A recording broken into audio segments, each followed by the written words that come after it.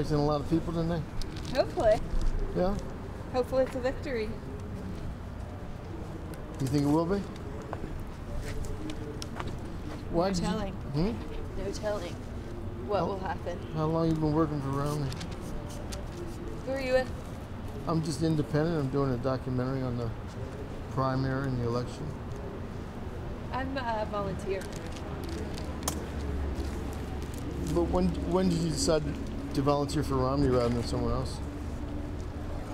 Um, I've been watching Romney. I like what he does.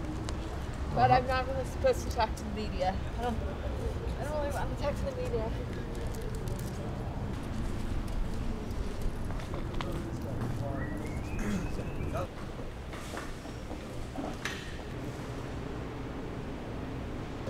Well, I'm hoping that uh, Mitt's going to win. You know, What do you think his chances are?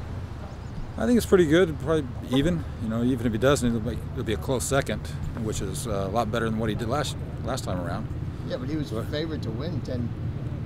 Well, see, I know the media's going to play it that way. Oh, look, he, you know, he only came in second and stuff because he went down in the polls. But hey, he went up from fourth previously. So, what are, how are you going to play it? It's all it's all what's to advantage to the media and stuff. So, Well, I mean, you, were you were you hoping this was going to be a knockout punch though? and This is going to be it.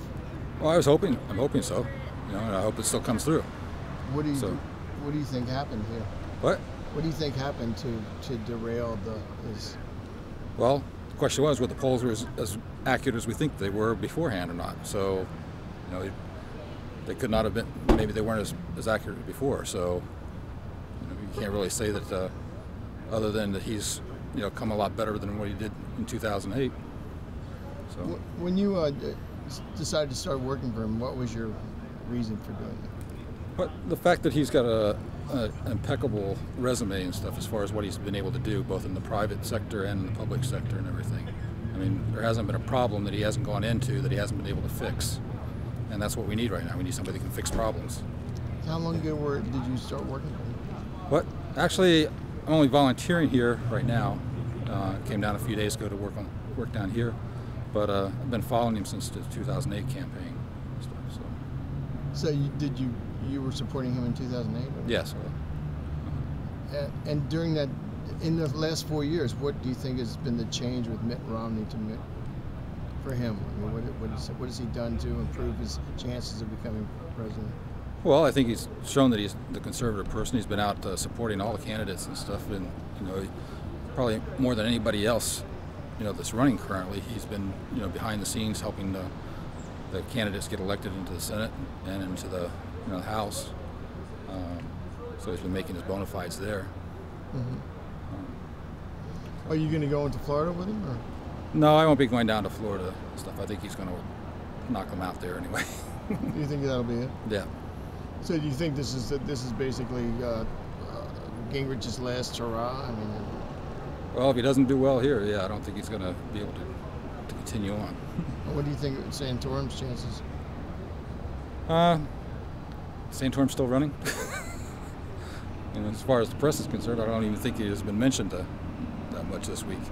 Santorum? Right. I mean, he had a good debate and stuff, but it doesn't seem to have really helped him as far as getting his name out there and you know getting getting a lot of publicity. Uh, what do you think about Ron Paul's uh, strategy, whatever that is? I think Ron Paul is in it to get the issues out there. Uh, I don't know that he's really in it to win the election per se. You know, he seems to be sticking uh, a lot to the caucus states as far as what he's really working towards. So do you think his his uh, campaign will be one to uh, uh, have an effect on the Republican platform, or what? I think that's probably what he's running for, to be able to do that. And I think in some respects it has already. I think so. Okay, so you're hopeful tonight, or Yep, I'm hopeful. and uh, feeling Nope. pretty. I know I. Cost. Let's see. Cautiously optimistic. you're reading Atlas Shrugged, and what what what does that say to you?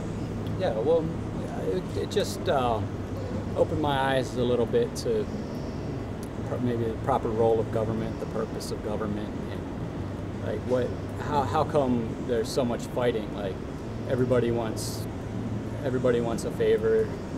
Um, like since since the government is is providing things for the people, then the people are always crowding around the basically the doors of the government because they want they want their por- they, they, they want they want to be served, meaning they want to they want a portion of the goods that's being distributed by the government, and it, it's uh, to me that's a, that's not really a sustainable system. It just seems to be spiraling down a little bit, and uh, to me, Ron Paul he he's he supports. Uh, I mean, he calls it he calls it liberty, and uh, I mean it's a pretty general word, but it just means that everybody gets treated equally. They're, they're not going to be. If you're a manufacturer, you don't get subsidies. If you're an importer, you don't get extra tariffs on you, and they just make it. It just uh, allows you to do what you want to do with your life rather than kind of being nudged one direction or another. Like, or to be nudged to go buy a house or nudged to take health insurance from your employer or just things like that. The, the government has should have a more narrow scope than, than really what it's been doing. So I think Ron Paul supports that. How do you think he's going to do tonight? Well, he's been he's been doing well enough. I mean, he even says it. It's not politics doesn't change culture. It's culture that changes politics. And I mean, he's more he's more of an intellectual than a than a politician. And, and that's that's where it all starts. Books are written. He's written a number of books. I read them. He he knows what he's talking about. He knows what he's talking about foreign policy. He knows what he's talking about domestic policy. And I don't know. Sometimes he doesn't. He's not able to say it very well on some of these TV interviews. And, people really try to pin him down, but it's just uh, to me it's just because it's it's it's more, it's not as simple as that. The, the ideas of uh, individual rights and limited government it's it's more nuanced, and you you really have to study it. I mean, maybe if they taught it in our schools or something like that, more people would understand it. Because, I mean, it's, it, it's it's it's just it's really difficult to get it uh, in in just one. I don't know if, if if Ron Paul is like one of the only people speaking about it on TV, then it sounds kind of it sounds kind of strange. But when you understand the full context of where he's coming from, the intellectual roots, uh, they go- they go back far. But we don't we don't talk about it anymore. We don't talk about John Locke. We don't talk about uh, Frederick Bastiat. We don't talk about Ludwig von Mises. These people are really important.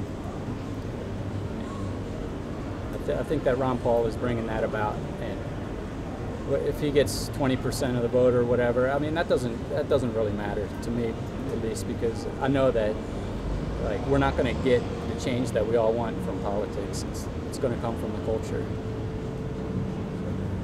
Do you, do you think that he is um, working towards a nomination eventually for his son? I, I, I don't I don't know if it's for his son, but it's it's for somebody like like-minded like himself, uh, and I, think that he he has he has made a pretty good path. I mean, the perseverance that he's had, I, I wouldn't be able to do it. I. I I, I don't I don't really step out and I'm not like a sign waiver or anything like that.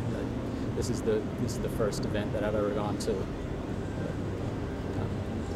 Well, what, what made you want to come to this event? I, I'm, I'm down in Aiken, and I, I wanted to meet Ron Paul. He's he's kind of a bit of a hero for me, and so that, that's mainly why I'm here. Oh.